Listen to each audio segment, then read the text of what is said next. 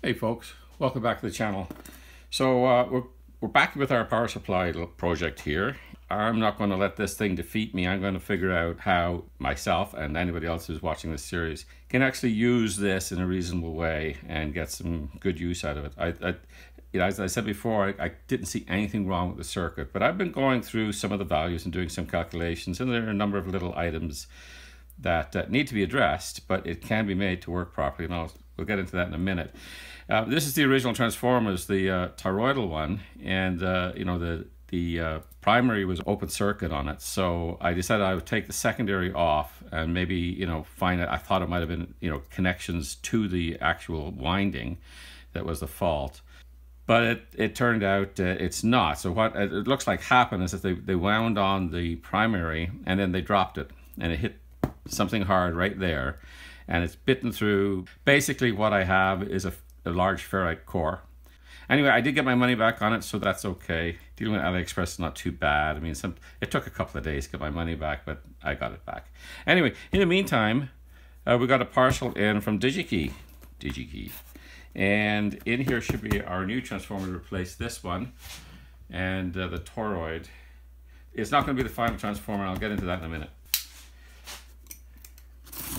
And in here should also be a transformer for another project, which I'll, when I get around to it, I'll introduce you guys to. It's actually an old project that's been underway for ages.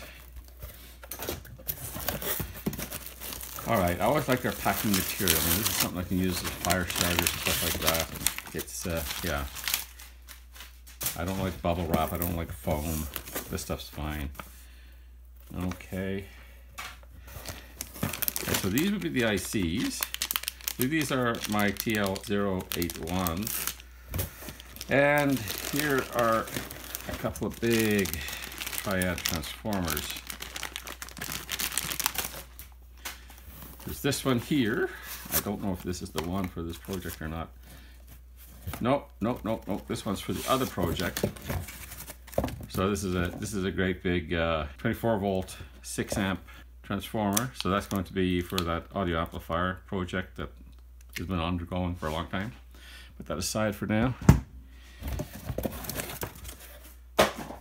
So this here, oh yeah, it's a much later transformer. So it's the one for this, that I got for this project that I won't be using. I'll use it temporarily for a minute or two to show you some, some of my concerns and discuss what I'm going to do and I may do I may use it in the future for a power supply which I design myself that'll actually work. But uh, we'll cross that road when we come to it.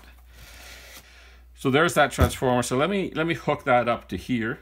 One thing I want to show you is a little hack that maybe a lot of people don't know. Like if, if you're going to put stranded wire into you know these little uh, terminals here even into these sort of terminal blocks here a really handy way to do it is to uh, you just take um take a soldering iron and tin the tip of it. So strip it off to the length that you want, and then just tin the tip. So get a little bit of solder into the first uh, millimeter or so of it, and that stops the, the, the strands from coming apart.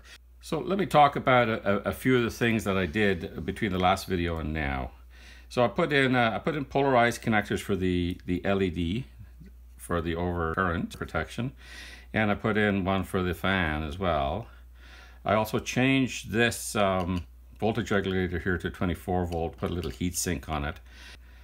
And uh, so that's, that's just the power supply for the fan and for the, the meter here. I also put in a terminal block here to connect the main pass transistor and I've mounted that on some wires and I have a clamp to this big heat sink here. Now this, this heat sink here is roughly the size of the one I have coming for the power supply.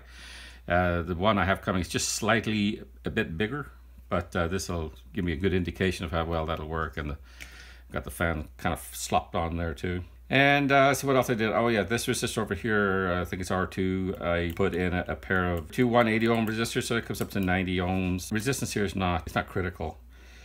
Uh, I also have coming for me actually an, an 82 ohm resistor in a half watt package. I've also got another resistor coming to, and we'll discuss that in a minute. And I think that's it so far. Oh yeah, another thing I did is I put in 741s in here because I just wanted to try that with a, with a known good amplifier. So I took out the these these uh, God knows what they are, these op amps. And you saw the behavior in the last video. If you hadn't, go back and watch that video. Um, this this thing was, wasn't going to work properly at all with these op amps in it. They're, I don't know what they are. They're not TL081s. So we're going to carry forward from this point here. And I want to show you how it works with these 741s, but I'm going to show you some of the other things I discovered and uh, go through some of my reasoning as to where we're going to go with this. So let me let me turn on the power here. Now I've got this coming through, you can't see it's off screen, I've got this coming through a Variac over here. And uh, that way I can adjust the voltage. And it's, it, right now it's adjusted to exactly what's coming out of the mains, which is about 120.5 volts today for some strange reason. Let's see what we got here. Okay, so we got current limit is on. Oh, and I have a I have a DC load set up to it here, because today we're going to go well beyond the ability of that little load that I had before. So say now here with these 741s in there, we can get 31 volts out of it instead of the 20 something that we got before, and it it adjusts right from the top. So everything now is is working as it should in that respect and uh, the current limiting is working better too comes on roughly where it should and it doesn't it doesn't come on like before when we turned this down all the way the current for some strange reason would come on but now it it doesn't so now we've got it kind of working the way the specifications say. I haven't tested the current yet, but we'll do that in a minute. But I want to show you something. Let me see if I can get a meter into the picture here. Can you see that? Yes, you can. Okay, and now let me show you the voltage across these uh, operational amplifiers here. It's a, so here we are, this one here, we got 39.8 volts. This is this here is a 36 volt device and we have with a small load on the thing we've got 39.9 volts or basically 40 volts. See, goes up to 41 volts. And that's the same over here with the voltage amplifier. Now here, this is the reference amplifier here. Is this one here, it's borderline. I mean, even this one here, which doesn't have the negative supply on it, it just goes down to the zero rail. It's uh, right at its limit. So th the way this is set up right now, it's not going to last long. These these are just regular 741s. And even if I had TL081s in there, they're the same. They're a 36 volt op amp. Uh, they're under extreme stress right now. So that's why I'm not going to use this transformer. I'm going to use a 20 volt transformer and I'm going to make this power supply into a 0 to 25 volt power supply. That way the components can live happily. And now there's another reason for it, not only for these, like I could replace these with more modern uh, op amps. If you just take a little, a little uh, breakout board or chip carrier, whatever you want to call it, and put a, a little surface mount one, you can get them 40 volts, 44 volts, and stuff like that. They're a bit more expensive than you know your run-of-the-mill 741 or TL081, or I could put in a 741J, which is a 44 volt mil spec device. However, those 741Js, they're like $30 Canadian each, so that you'd be, looking at $90 for this, and that's just it, that just seems ridiculous way to solve this problem. A much better way to solve the problem is to, is to get the 4 amp 20 volt transformer and reduce the expectations on the, the voltage outs. That's the direction I'm taking. And like I said, there's another reason for it. So this transistor here, this has got an absolute maximum of 100 watts. So if you've got if you've got 40 volts on your rails here, or actually on on the uh, going into the supply, the high current supply, we've got uh, we can just measure it here. So we've got 35.8. Let's call it 36 volts. And let's say you had a circuit where you you wanted 3 volts at 3 amps. You're going to be at 100 watts of dissipation here. And so this is living on the edge. And I want to kind of alleviate that too. So if we drop this down to 25 volts at 3 amps, then we're going to have a much lower voltage here. And this thing is going to be running in the 75 watt range, which is far more comfortable. So basically making that change, and uh, I will have to change one of the resistors on here in order to get the uh, full range of the voltage control. But making that change will make this power supply a nice stable power supply that's able to live happily over its entire operating envelope without being on the edge of blowing itself up. To that end, um, let me bring down the voltage on this transformer so that we'll get out approximately what we would get out of a 20 volt transformer. Right now we're getting 28. So let's bring that down to 23 volts. That's basically, you know, what you'd get on a 20 volt transformer with no load on it. Of course, we'll verify all that when I get that transformer in. However, unfortunately, DigiKey have told me it won't be until October sometime because they don't have it in stock now, and I guess the manufacturing plant has to kind of gear up. So we'll see. Usually they ship along before what they say when they say you got a back order there, but we'll see how it goes. Now let's see what we have here. Uh, we have on the power side 29 volts, which is just fine. And uh, across the operation amplifiers, we have 34.5 volts. So now these are in their happy zone. So let's see what our, our maximum voltage now as we, let's turn off the current limit and we'll turn up the voltage here to maximum. So we're getting 26.1 out of it. And of course we can, we can bring that down to zero and all the way up. Okay, let me get the current on this up to 3 amps. So I'm just to go over to the load and do that now. Okay, so what's happened here? Let's see what it's reading now with a big load on it. No, it's 20.8. So uh, yeah, I do realize that I'm going to have to change gain on this voltage amplifier here. So that'll have to be changed to get this to work properly. But we'll worry about that in the next video. Right now I just want to see how things are going with respect to, oh yeah, yeah, don't believe this. See that says, it says 4.32 amps. Uh, we're not taking 4.32 amps through this thing. We're, DC load is telling me we're at 2.99 amps. Okay, so everything's much happier now. We got we got happy transistor, we got happy op amps. I'm going to have to adjust this biasing on this amplifier as well because it doesn't give me much control whatsoever. So we'll have to investigate that as well. I'll leave that for the next video though. I've also decided that I'm going to up the size of the case. I'm going to use a case of this size because this transformer will no longer fit comfortably in the other case and neither will the, the heatsink that I'm getting. But they will fit into a case this size. So I've got one of those coming as well. And I'm going to, um, I was going to get some 10 turn pots, but I'm not going to do that. I'm not going to do that. What I'm going to do, let me, let me use my, my little portable whiteboard here. What I'm going to do for the the fine adjustment on it. So we're going to have a coarse and fine in both the current and the voltage. And the way we're going to do that, like I've seen a lot of people do it, you know, where they, they have a potentiometer here, and then they put in another potentiometer up here, and kind of connect it up like this. So where, you know, this might be 10K, this would be 1K. When this is down at zero, you don't have any control over the fine.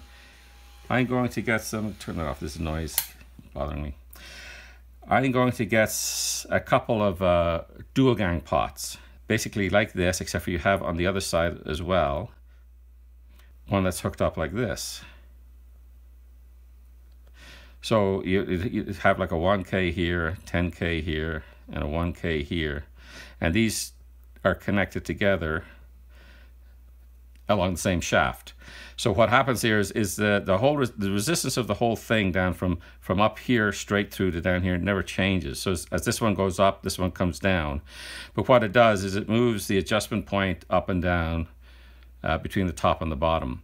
So this way you'll always get, so if we have 1K and 10K, you should have get a 10% variability and it should remain 10% right down at the bottom, right up at the top. So yeah, I've, and I've used this many, many times in the past when I've had to do things like that. So there's a drawback to it. Instead of having a single pot, like a 10 turn pot, you have to have two pots now and you have to be able to source a dual gang pot.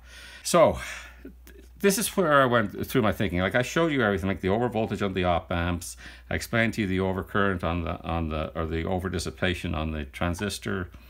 So these are were kind of the um, the options I went through here. So if I change the op amps for the amps and volts, I could change them to LM741s. The other one here, the, the, the, voltage reference one is fine. But these are these are about 30 bucks a piece.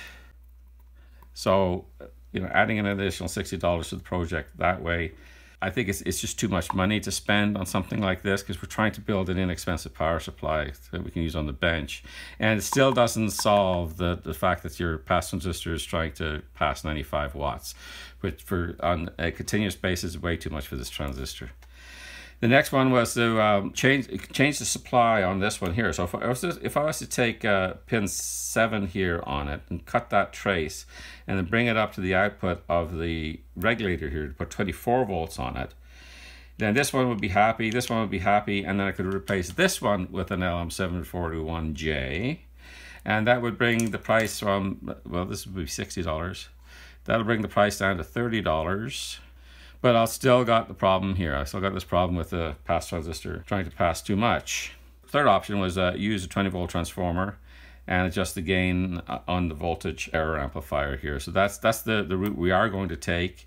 That solves this problem and it solves the overvoltage on the op amp. So both problems are solved right away. Know, another suggestion came to me. I didn't think of it myself, but uh, I think it might have been left in the discussion section of the last video. But somebody said uh, reduce the voltage on the negative rail. And I, I, guess I could do that. I could take out that 5.1 volt Zener here and put in a, a 2.7 or something like that. That might still provide enough negative voltage for everything to work properly. But I'm, I might have to also then, uh, well, I would, I would have to change some of the gain on both the current amplifier and, and the voltage amplifier. So I'd have to change their uh, resistors on those. And these things would then be running right at their limit. So it, it's not going to really solve the problem. We're not bringing the voltage down sufficiently that there's some headroom there, especially with a low load on the system. They'll be working right at 36 or a little bit over 36 volts. Now, while they'll last a heck of a lot longer, it's still stressing them out and they're not going to last forever. And it still doesn't solve the problem with this pass transistor here. I guess we could replace that transistor with a more powerful one. Something like 2N3055 would probably work there. 2N3055 doesn't have as much gain as this. It's a little bit less, so it might put a little bit more strain on this transistor, but this, this one doesn't seem to have any problems at all. Like it doesn't even get remotely warm. So that's it, folks. That's where we are with it. So I've got stuff to come in. And we won't come back to this until I get all that stuff in. So I'm going to have that 20 volt transformer. I'm going to um, get got some more of these meters coming in. It doesn't have an adjustment for the current and it's, it's wrong on the currents. I have some more coming in and hopefully one of those will be a little bit more accurate. Yeah, like I said, I have a resistor coming for here. I have a resistor coming for the, the gain here. So one of the changes have to be made is uh, this resistor here R12 has to be changed from, I think it's a 56K down to a 40K for this to work properly as a 25 volt power supply. That's where we are with it, folks. Thanks a lot for coming out today, and uh, we'll see you in the next video, which should be roughly on Wednesday or something. It's going to be a, a, a mailbag video because I've got mail is, is uh, piling up again. So we'll see you in that one. And yes, it's all from AliExpress.